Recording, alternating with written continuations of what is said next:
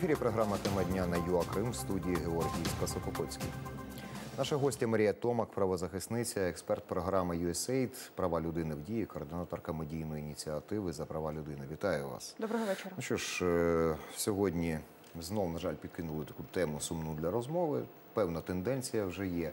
Місяць і 26 днів пробуде в СІЗО Різа Аміров та Айдер Джепаров. Двоє із затриманих після ранкових обшуків. Такий запобіжний захід обрав окупаційний Київський районний суд Симферополя. Під рештом кримчани пробудуть до 5 серпня. Захист збирається оскаржувати це рішення. Ще двом затриманим Енверу Амерову та Ескандеру Сулейманову повинні обрати запобіжний захід сьогодні. Чотирьом іншим затриманим міру запобіжного заходу мають обрати завтра. Нагадаю, сьогодні вранці в анексованому Криму окупаційні силовики провели чергові обшуки в будинках кримських татар одразу у трьох районах: Алуштинському, Білогірському та Сімфропольському. Співробітники ФСБ затримали вісім кримчан: Руслана Нагаєва, Ельдера Кантемірова, Руслана Месутова, Ленура Халілова, Айдера Джепарова, Різу Омерова та його батька Енвера Амерова. Та Ескандера Сулейманова. Як це було, розкаже мій колега Віктор Пономарьов.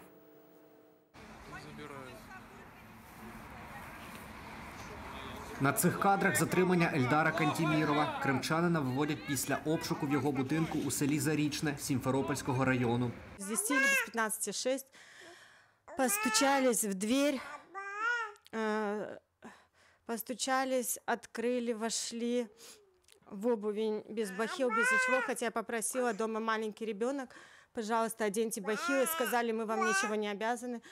Э, как бы силу никакую к мужу Альхамдулиля не применяли, э, как бы грубости не было никакой с их стороны, права наши полностью нарушили, так как мы просили, я просила, можно ли позвонить адвокату, сказал, телефон изъял, сказал, если вы знаете наизусть номер адвоката, э, можете позвонить. Э, Нам позвонила не- невестка, сказала, что у Эльдара, ну, у папы в Алуште обыск.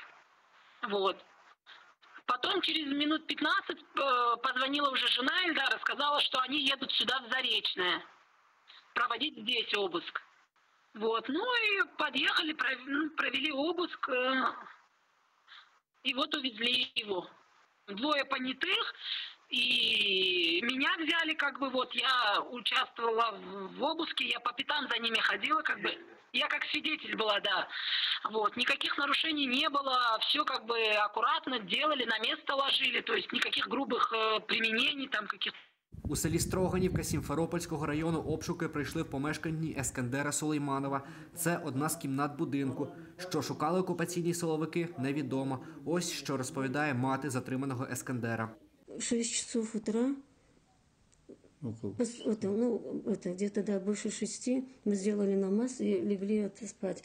И в это время, как начали стучать по окнам, по двери, и муж выбежал, открыл, это, а Искендер, он там после намаза стал, и сразу вот так посмотрел в окно и говорит, это за мной пришли, говорит, а он в окно, наверное, увидел. И потом это самое, я еще раздетая была, я одела платье, смотрю, они уже заходят, это, скрутили вот сюда, вот на пол положили его, При в'їзді на Керченський міст дорогою до Ростова на Дону затримали Енвера Омєрова. Він їхав на судове засідання до незаконно затриманих кримчан. В Білогірську у його будинку та будинку його сина Різи провели обшуки. Сина затримали. Це кадри його прощання з родичами. Під час обшуку дружині Різи Севіль стало погано. Її відвезли до перинатального центру Сімферополя. Вона на сьомому місяці вагітності. У жінки почалися передчасні пологи. возят? В Симферополь? Івана Франко возять? Це кадри з обшуку у селі Зуя Білогірського району. Там затримали активіста Айдера Джепарова. Они зашли сюда. Сюда зашли, потом там мы с бабашкой разговаривали, а мы там в маленькой комнате сидели. Сегодня в 6 часов ночи, когда я спал, мы услышали стук дверей. А Дашка встала, это начала всех будить. Это пришли эти, куфары пришли за этот, на обыск. Они с- этот, были в зелё... этот, некоторые были в таких камуфляжных масках, некоторые в черных, некоторые были без масок. Це мікроавтобуси окупаційних силовиків у селі Ізобільне Алуштинського району біля будинку затриманого Лінура Халілова. Обшуки прийшли і в інших селах цього району. У селі Малий Маяк затримали Руслана Месуветова, в Малоріченському Руслана Нагаєва. Віктор Пономарьов, новини ЮА Крим. Марія, ми знову бачимо знову знов обшуки у кримських татар, знову затриманих. Не так давно знову ж таки були масові обшуки е, теж по так званій справі Хізбут Тахрір. На фоні тих судів, тих розглядів в Гаазі, в міжнародному трибуналі з морського права. Знову ж таки, є рішення міжнародних інстанцій з приводу е, заборони Мінджелісу з вимогою негайно дозволити її роботу. Для чого Росія продовжує цю ескалацію? Ну, власне кажучи, мені здається, що ми е, маємо е, трошечки розрізняти, так? Тобто йдеться про зовсім різні судові інстанції міжнародні, так? Хоча, в принципі, це є якась апеляція, звісно, до е, якихось інституцій міжнародних, так, намагання спроби України, але вони все ж таки стосуються дуже різних процесів. І як ми бачимо, Росія для Росії це не указ, так, тобто не знята заборона меджлісу, що було там попереднім, скажімо так, рішенням міжнародного суду ООН. Росія не повернула Україні ні моряків, ні кораблі, що було також рекомендовано іншою судовою інстанцією міжнародним трибуналом ООН з морського права. Так і е, от якщо говорити про цю тенденцію, яка стосується затримань кримських татар, то от якщо просто цифри називати, так от ми казали, казали минулого тижня про те, що 115 громадян України незаконно переслідуються Росією і власне перебувають в місцях позбавлення волі на території Криму та Російської Федерації. Серед них 63 е, е, кримські татари. Ну, можемо тепер додати 8, тому що я не маю сумніву, що всі, ну на жаль, е, я думаю, що всі затримані сьогодні. е, е, Люди отримують арешт, тобто суд навряд чи когось комусь обере якийсь інший запобіжний захід. Тобто ми матимемо відповідно більше вже е, 70, 70 кримських татар серед більш ніж 120 е, осіб, які утримуються незаконно в Криму та Росії. Мені складно говорити, з чим це пов'язано взагалі, яка мотивація.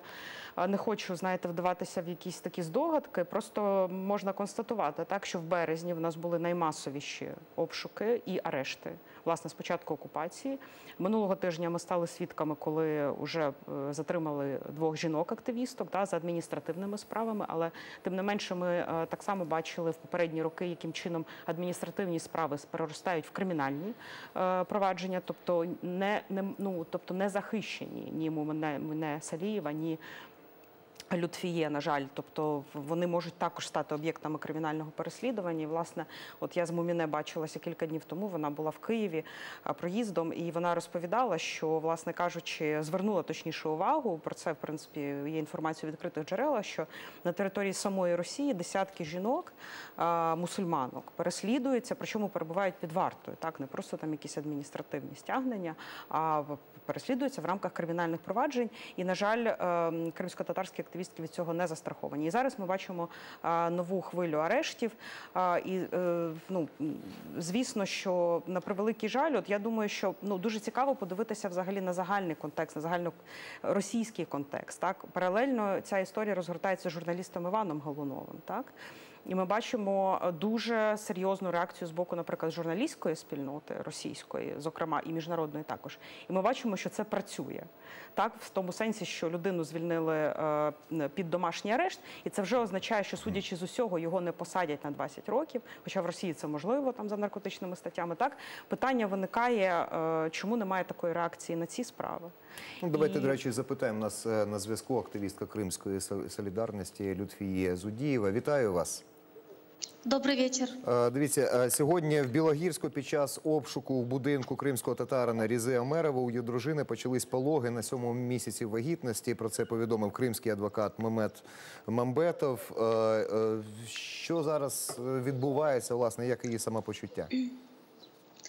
На самом деле ее доставили в Белогорскую больницу сначала, потом осознав, что не могут предоставить э, весь спектр необходимых услуг, перевезли э, в столицу, в Симферополь, в перинатальный центр, где она сейчас находится. Ее госпитализировали, э, взяли анализы. Она находится на данный момент под наблюдением э, дежурного и лечащего врача.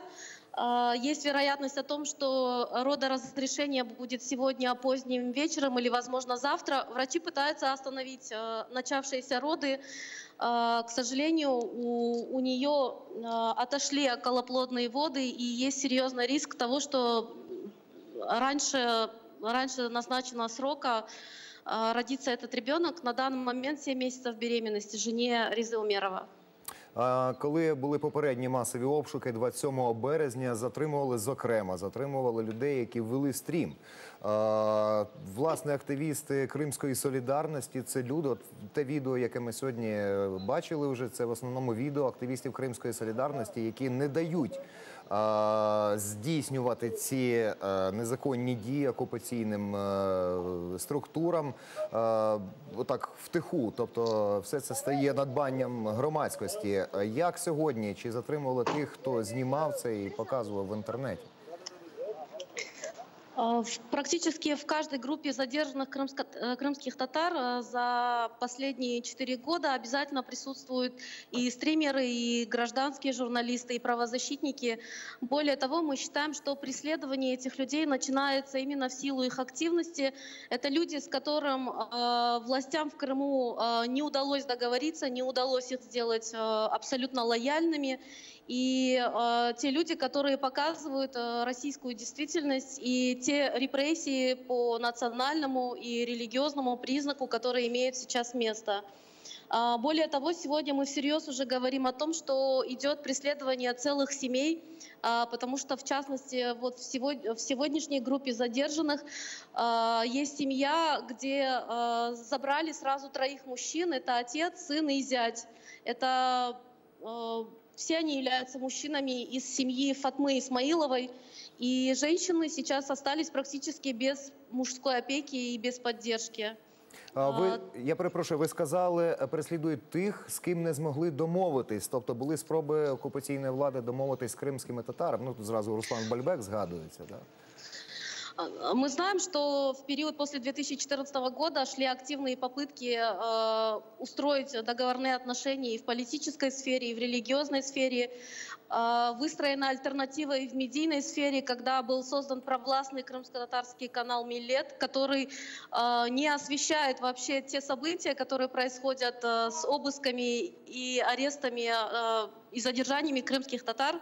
А если и вдруг происходит так, что они показывают эти аресты или обыски, то, как правило, это в той же интонации, которую подают э, пропагандистские российские средства массовой информации о том, что якобы задержали террористов, а не обычных людей. Лютфія, дякую вам. Бережіть себе і тримайтесь. Спасибо большое. Е, Ну, така ситуація зараз е, відбувається. знову. Ну, для чого? Для ну, чого? От, е, ви, е, Е, здається, Росія дуже... випробовує е, ну, от, знов і знов. Ви нам розглядаєте чергові позови там в міжнародних судах, а ми от таке покажемо. Це, це вони випробовують А, терпіння. Ви міжнародних, знаєте, я би швидше сказала, що ви дуже правильно звернули увагу на те, чи були серед затриманих активісти, власне кажучи, так, стрімери, люди, які завдяки яким ми взагалі бачимо це все, ці всі картинки після обшуків. Знаємо, що ці обшуки там відбуваються, що це затримання відбувається, навіть попри те, що обираються запобіжні заходи в закритих е, судових засіданнях, але все одно ми про це все знаємо.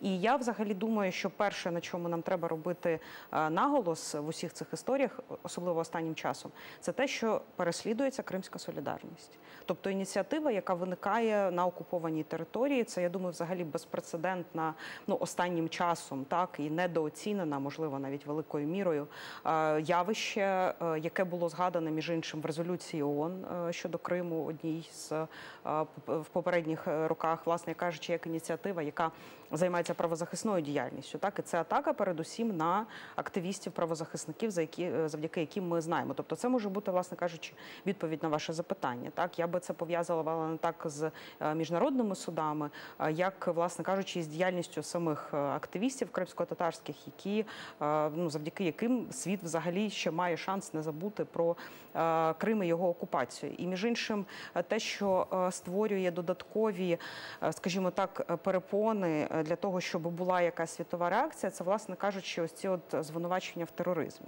Тому що я скажу відверто, звісно, ніхто вам цього прямо не скаже там на якихось міжнародних майданчиках, але це звучить е, за закритими дверима, або це відчувається на рівні якоїсь атмосфери недовіри до того, що звинувачення, ну власне кажучи, терористичне обвинувачення це дуже серйозно звучить. Так людям, яким інкримінується організаторська функція, загрожує до пожиттєвого ув'язнення, так а решті там від 10 до 20 років. Це дуже е, серйозні статті на фоні співпраці з Російською Федерацією е, інших країн, е, скажімо так, по лінії антитерористичної діяльності.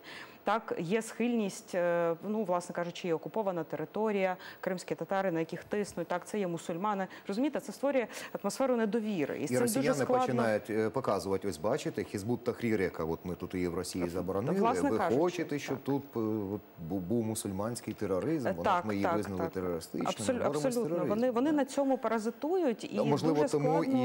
і якраз і загострення боротьби зараз там з Хізбут Тахрір, ці от е, форму- формулюють ці справи і показують, от бачите, з ким ми боремося. Ну от власне так, Е, але звісно, що е, хотілося б, щоб світ розумів, що це зловживання фактично цією ем, антитерористичним законодавством. Це так само, до речі, було на рівні резолюції Генеральної асамблеї ООН визнано так. Але от я вам скажу, хочу поділитися враженнями. З ми з колегою щойно повернулися з е, форуму безпекового в Братиславі, який відбувався. Він називається Глобсек. Це один з найбільших в східній Європі безпекових форумів. І Ми власне там намагалися говорити про тему Криму. Так, от просто буквально ось виловлювати когось важливого, там, наприклад, генерального секретаря ОБСЄ або головуючого цього року в ОБСЄ міністра закордонних справ Словаччини. Це дуже І- важливо, тому що Росія не лінується, не втомлюється виловлювати важливих Так, і я вам скажу, що в Словаччині російський вплив дуже потужний. Ну як ми розуміємо, і на рівні ОБСЄ так само. І я вам скажу так, що говорити про цю тему дуже складно. Тобто складно говорити про Крим. Всі ніби все знають, так але на фоні всіх цих е, розмов, знаєте, таких ніби з претензією на таку суперглобальність, так про якусь таку безпекову ситуацію. Хоча, звісно ж, е, ключовою складовою безпеки є права людини, так і власне кажучи, е, те, що ми бачимо сьогодні в Криму, складно взагалі якось поєднати зі словом безпека. Але тим не менше про це говорити складно. Україна, от в даному випадку, в це на цьому форумі не була представлена фактично взагалі. Тобто був запланований е, іва- е, захід по Україні, але він не відбувся, тому що ніхто з України не приїхав з одного боку. Так, але ми розуміємо, що коли безпековий форум відбувається в сусідній Словаччині, так і в сусідній зі Словаччиною країні триває війна, і при і міністр закордонних справ цієї країни головує в ОБСЄ. В ОБСЄ одна з один з ключових вимірів, якраз безпекових стосується прав людини. Так ну це все виглядає дуже. Сумно, я б сказала, і нелогічно, так? І власне кажучи, на цьому форумі вже звучали на деяких панелях такі ствердні е, промови про те, що Росія вже повертається до парламентської асамблеї Ради Європи. Я от нагадаю, що е, наприкінці червня відбудеться сесія, де цілком можлива російська делегація е, візьме участь для того, щоб голосувати там за генерального секретаря. Тобто, ми бачимо, що відбувається ось е, такий, ну я не знаю, чи це відкатом можна назвати Такий так, але- такий. Та, але, але це, це постійний процес. І питання в тому, звісно, що дуже часто в нас не ну, бракує чи ресурсів, чи то ну я не знаю чого, щоб цю тему тримати на плаву. Навіть в тих випадках, коли очевидно, що Україна е, має абсолютне право на те, щоб бути визнаною там як жертвою, так Да, само але ці Україна люди. не будує Північний потік 2 в Німеччину, да, правда ж? Власне, так В ну тобто ми, ми бачимо, нам бачимо на, на цих міжнародних безпо- складності задачі, Я погоджуюсь і на цих міжнародних безпекових майданчиках, те, що очевидно, так що ми часом е, заграємося в цю в цій ролі, перебуваємо жертви, так і ми не розуміємо, що е, ну це світу не цікаво, так світу цікаві переможці, умовно кажучи, так і коли ми опиняємося за межами всіх цих дискусій, ну ми просто подвійні жертви. Та і нам все ж таки треба якусь проактивну позицію щоразу мати і через голову стрибати вище голови. Ну а якою ж може бути ця позиція? Да?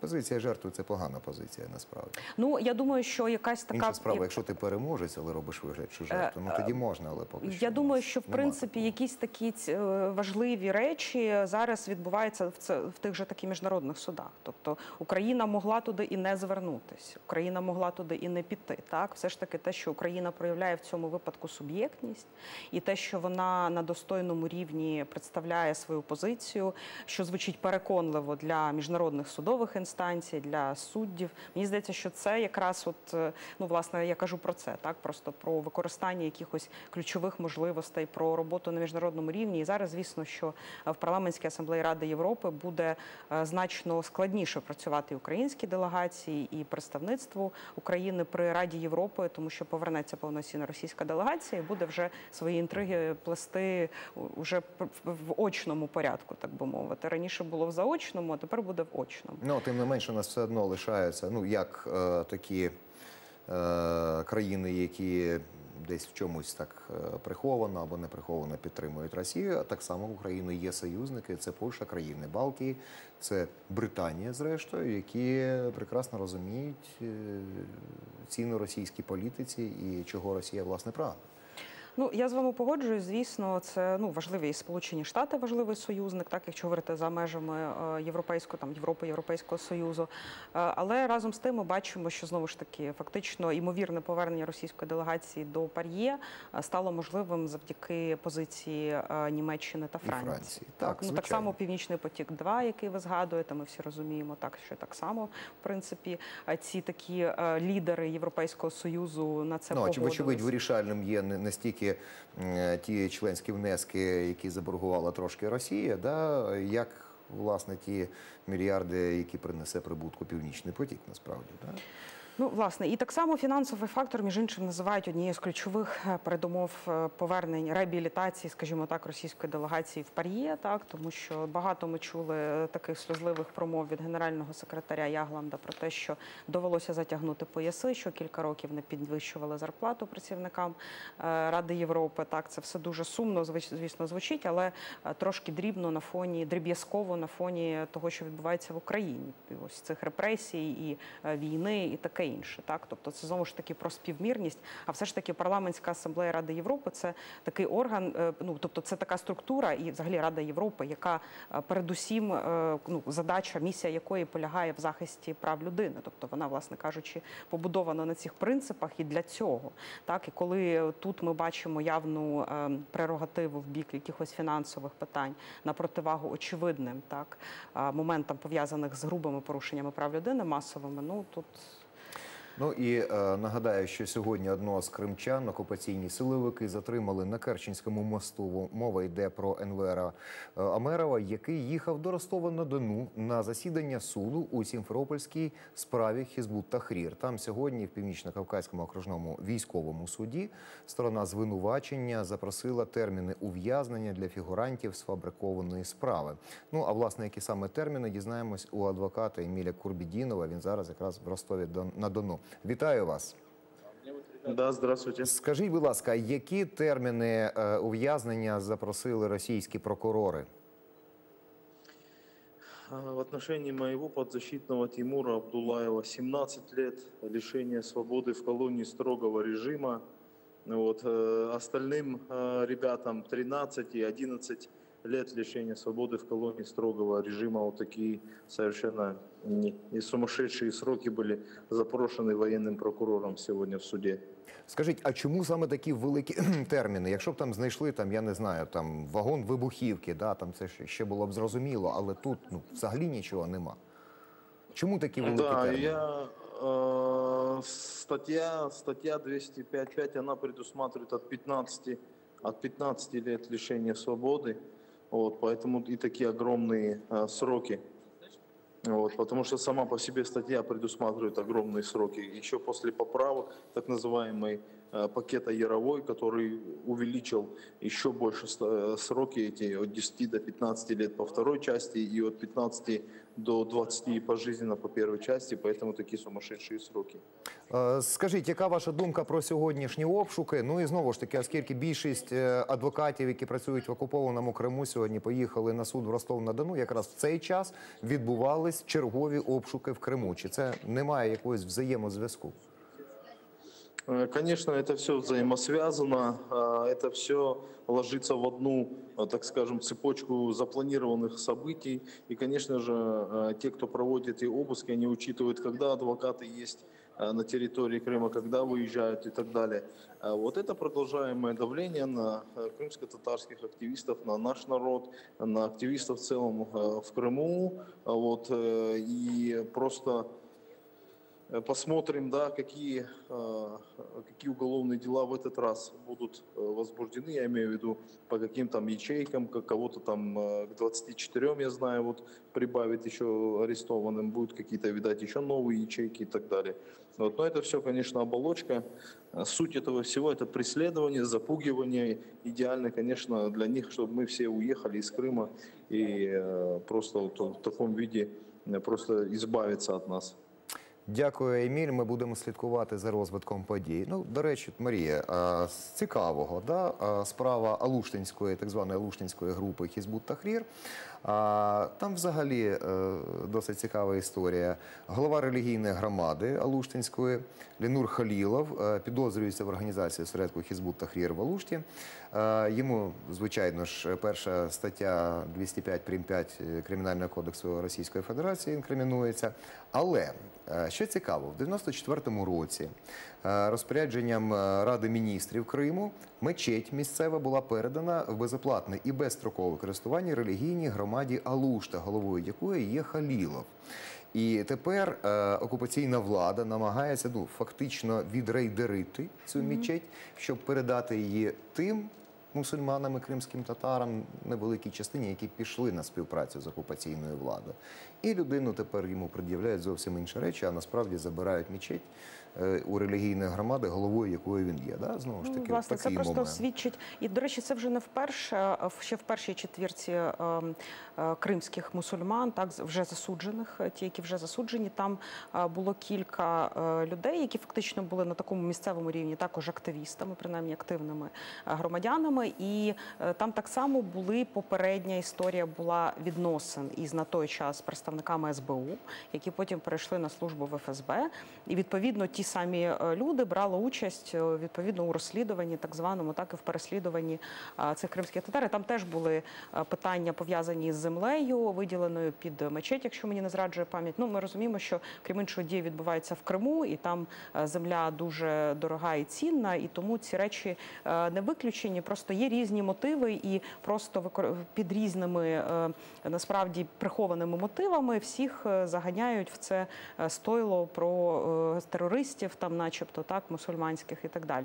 А от е, ця історія, яку згадує згадувала Людфіє, е, що щодо е, намагання вербувати, мені здається, що найбільш виразний випадок це Мірусин Куку. Це він належить до е, другої групи арештованих.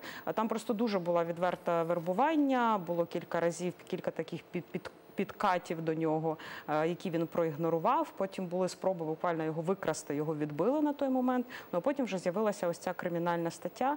На сьогоднішній день е, Емір Усеїн Куку це один з тих, хто визнаний міжнародною амністією е, в'язнем сумління. Так і це дуже такий високий високе звання, тому що у міжнародної амністії там дуже такі суворі критерії, скажімо так, і далеко не весь список, кого ми вважаємо незаконно переслідуваними, він власне підпадає під ці критерії саме в'язня сумління. Так, тобто там є все ж таки різні історії, і е, ну не всі люди, скажімо так, є просто випадкові жертви фактично окупації, а не люди, які там активізмом, скажімо, займалися, і можна їх назвати в'язнями сумлінь. Але менше з тим, це якраз от Мірусеїн, це якраз той випадок, коли а, людина фактично переслідується за те, що вона не пішла на співпрацю зі слідчими, намагалася чинити спротив, ще якісь там заяви писала через те, що її намагалися незаконно залучити до а, якоїсь співпраці співробітники ФСБ. Ну, взагалі-то насправді всі ці методички, за якими зараз діє Росія, вони достатньо старі. Е, причому ще з царських часів, коли, ну, власне, крім Московської області, да, очевидно, що Росія це все інше просто окуповані території різних народів. Е, і як з ними домовлятись, е, там, кнутом і пряникам, там це все було відпрацьовано. Ну, зокрема, до речі, зовсім недавнішня історія, як причавлювали український супротив да, в Західній Україні, кого не змогли вбити, з тими намагались домовитись, когось залякати, когось перекупити і так далі. Частково це вдалося. Ну, як ви думаєте, з кримськими татарами це вдасться? Ви знаєте, я бачу по настроям, що з Криму ніхто їхати не збирається.